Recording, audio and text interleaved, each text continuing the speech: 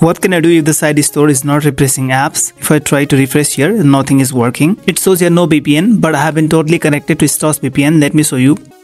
I have the StosVPN here and it's totally connected. So go back. In this case, what you're gonna do is go to SideStore. And the best possible way to fix this kind of error is go to settings. We can find the Anisette servers option inside the advanced settings tab here.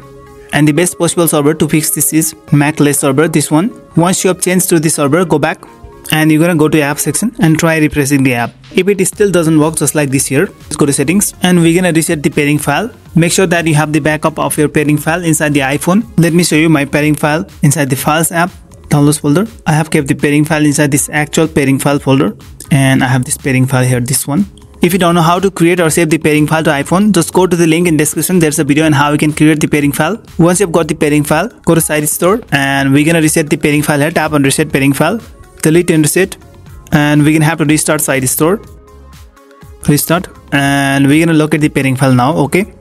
Now i'm gonna go inside the actual pairing file folder and select my pairing file. Now we're gonna go to app section and try refreshing the apps. And it works here you can see. Yes. Also you can add the apps. You can even choose to refresh all. Like this video and subscribe to this channel